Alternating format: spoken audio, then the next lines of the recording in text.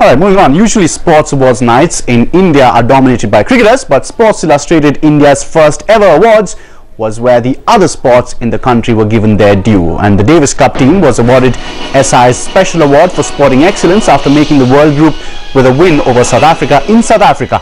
Rohan Bopanna and Leander Paes were at the function to receive the award on behalf of the team. In that, I'd like to congratulate the boys in South Africa.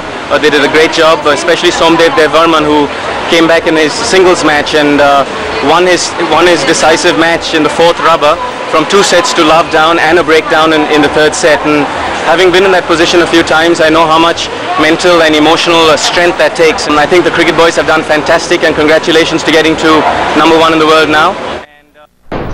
And Leander Paes was awarded the editor's pick for excellence in sport, an ageless warrior. In fact, uh, this man Leander Paes has declared that he will, in fact, even compete at the London 2012 Olympics.